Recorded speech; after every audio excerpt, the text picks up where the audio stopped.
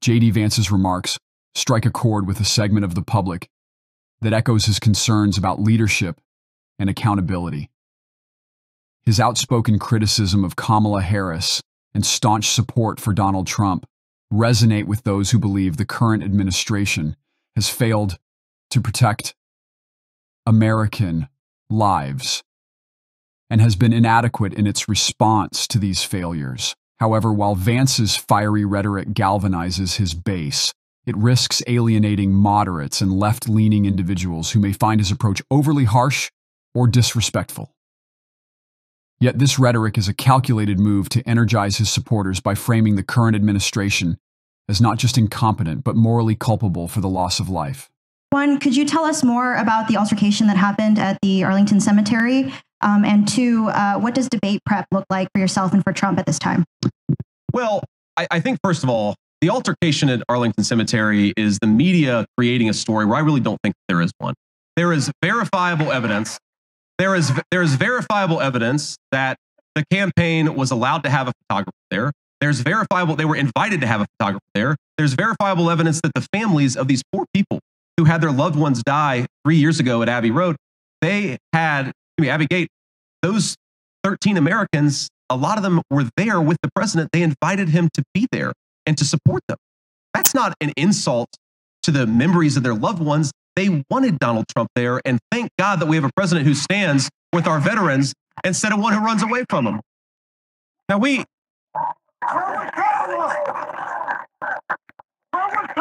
Now, it, yeah, I mean, it, it is it is amazing to me that you have apparently somebody at Arlington Cemetery, some staff member, had a little disagreement with somebody, and they have turned the media has turned this into a national news story. You know what I think our veterans care a lot more about?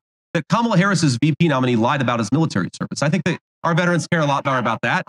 And the other thing that our veterans care, the other thing our veterans care a lot more about is that three years ago, 13 brave, innocent Americans died and they died because Kamala Harris refused to do her job, and there hasn't been a single investigation or a single firing. I, I don't, I don't look. Sometimes mistakes happen.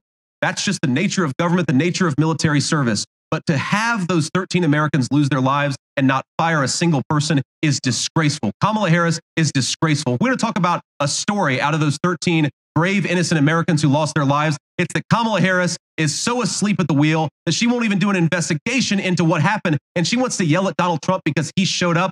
She can, she can go to hell. Vance underscores the importance of responsibility and leadership, particularly in his criticism of Kamala Harris for not investigating the incident that led to the deaths of 13 U.S. soldiers.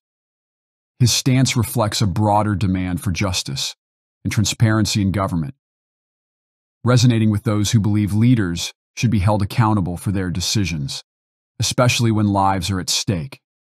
Vance's blunt approach, exemplified by his statement that Kamala Harris can go to hell, channels the frustration and moral outrage that many conservatives feel towards leaders they perceive as neglecting their duties or acting against the country's interests. This directness appeals to a conservative base that values plain, unvarnished truth over diplomatic language. Vance's call for accountability and truth in the wake of the soldiers' deaths is seen as a demand for those in power to own up to their failures and the consequences of their policies. His remarks can be interpreted as an expression of existential anxiety about leadership's impact on life and death, highlighting a refusal to confront reality as a core concern. When Vance says Harris can go to hell, it can be viewed as a rejection of the perceived moral failure to acknowledge the gravity of the situation. His words tap into a collective grief and anger that many Americans feel over lives lost in military conflict, especially when those losses are seen as the result of misguided leadership.